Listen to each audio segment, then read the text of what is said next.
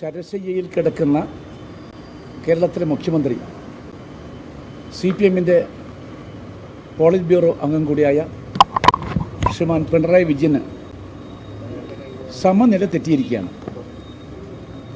അതാണ് കഴിഞ്ഞ കുറേ ദിവസങ്ങളായി നമ്മൾ കണ്ടുകൊണ്ടിരിക്കുന്നത്. ഏത് നിമിഷവും ജയിലിലേക്ക് പോകാൻ സാധ്യതയുണ്ട് എന്ന തിരിച്ചറിവാണ് മുഖ്യമന്ത്രിക്ക് ഇപ്പോൾ ഉണ്ടായിരിക്കുന്നത് പ്രതികാര ബുദ്ധിയോടുകൂടി ലക്കും ലഗാനുമില്ലാതെയാണ് പ്രതിപക്ഷ നേതാക്കന്മാരെ തിരഞ്ഞുപിടിച്ചുകൊണ്ട് അദ്ദേഹം പൊതുസമൂഹത്തിൽ സ്വഭാവ ഹത്യ നടത്താനുള്ള ഹീനമായ ശ്രമം നടത്തിക്കൊണ്ടിരിക്കുന്നത്. വൈര്യ നിര്യാതന ബുദ്ധിയോടുകൂടിയുള്ള ഏത് ശ്രമത്തെയും കോൺഗ്രസും ഐക്യ ജനാധിപത്യ കക്ഷിയും ഒറ്റക്കെട്ടായി ചെറുത്ത് പരാജയപ്പെടുത്തും. ഈ ഗവൺമെന്റിന്റെ എല്ലാ ചെയ്തികളും തുറന്നു കാട്ടിക്കൊണ്ട് ഈ ഗവൺമെന്റ് എവിടെ നിൽക്കുന്നു ആരുടെ കൂടെ നിൽക്കുന്നു എന്ന യഥാതഥമായ ചിത്രം സമൂഹ മധ്യത്തിൽ അവതരിപ്പിക്കാൻ വേണ്ടി ഞങ്ങൾ മുന്നോട്ട് പോവുക തന്നെ ചെയ്യും.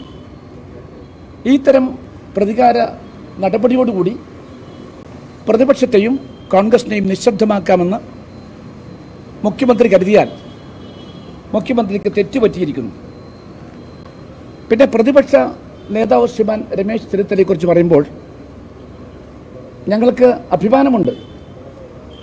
അദ്ദേഹം ഈ ഗവൺമെന്റ് അധികാരമേറ്റതിനു ശേഷം കഴിഞ്ഞ നാലര വർഷക്കാലമായി ഗവൺമെന്റ് നടത്തിക്കൊണ്ടിരിക്കുന്ന ഗുരുതരമായ ക്രമക്കേടുകൾ അഴിമതികൾ അതെല്ലാം ഒന്നൊന്നായി അക്കവും അടിവരയും ഇട്ടുകൊണ്ടാണ് അദ്ദേഹം സമൂഹ മധ്യത്തിൽ തുറന്നു കാട്ടിച്ചുകൊണ്ട് ഈ ഗവൺമെന്റിനെ പ്രതിക്കൂട്ടിൽ നടത്തിയിരിക്കുന്നത്.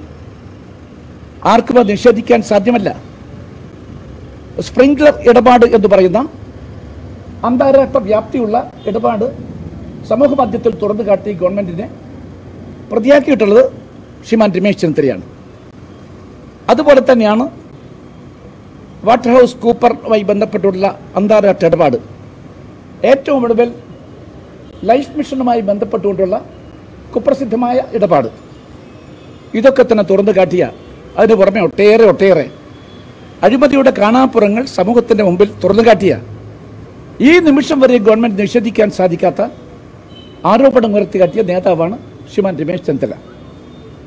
ആ രമേശ് ചെന്നിത്തലയാണ് മുഖ്യമന്ത്രിയെ ആരോപണ ശരങ്ങളിൽ ഞാൻ പറഞ്ഞതുപോലെ തന്നെ ശരശയ്യൽ ഇപ്പോൾ കടത്തിയിരിക്കുന്നത്. അപ്പോൾ പിന്നെ ഒരു മുഖ്യമന്ത്രിക്ക് സമനില തെറ്റുക എന്ന് പറഞ്ഞാൽ അത്ഭുതമൊന്നുമില്ല. ആ സമനില തെറ്റിയ മനുഷ്യന്റെ ഒരു പിടഞ്ഞു കളി മാത്രമായിട്ടാണ് ഞാൻ ഇതിനെ നോക്കിക്കാണാൻ ആഗ്രഹിക്കുന്നത്. പിന്നെ ഞാൻ ചോദിക്കട്ടെ നിങ്ങളാണ് റിപ്പോർട്ട് ചെയ്തത്. എൽ ഡി എഫ് ഗവൺമെന്റ് നാല് തവണ ഈ കേസുകളൊക്കെ തന്നെ അന്വേഷിച്ചാണ്. അന്വേഷിച്ചിട്ട് അവരെന്ത് പറഞ്ഞു? ആ അന്വേഷണം പൂർത്തിയാക്കിയ ശേഷം ക്ലീൻ ചിറ്റ് കൊടുത്തു. ആരോപണങ്ങളിൽ കഴമ്പില്ല എന്ന കണ്ടെത്തലാണ് ഈ ഗവൺമെന്റ് നടത്തിയത്. പിന്നെ ഈ ആരോപണ കർത്താവ് തന്നെ മറ്റൊരു ആരോപണം ഉന്നയിച്ചിട്ടുണ്ട്. ഈ ബാർക്കോഴയുമായി ബന്ധപ്പെട്ടുകൊണ്ട് പത്ത് കോടി രൂപ കേരള കോൺഗ്രസ് നേതാവ് ശ്രീമാൻ ജോസ് കെ മാണിക്ക് താൻ ഓഫർ ചെയ്തു എന്ന കാര്യം അദ്ദേഹം പറഞ്ഞിട്ടുണ്ട്. ആരടിമ നടത്തിയാലും അഴിമതിയല്ലേ?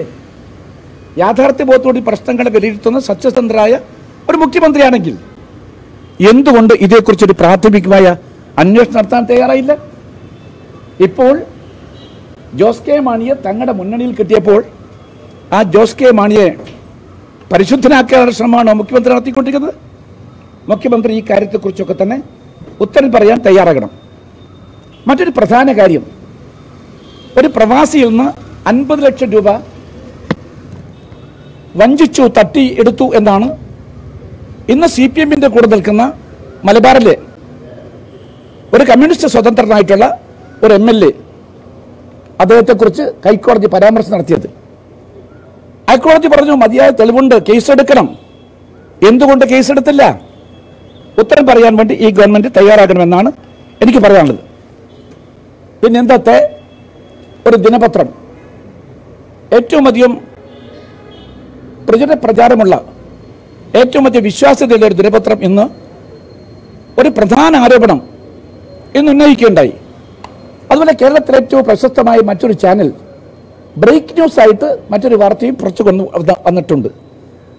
ഇതൊക്കെ തന്നെ ഗൗരവത്തോട് തന്നെ കേരളം നോക്കിക്കാണണം.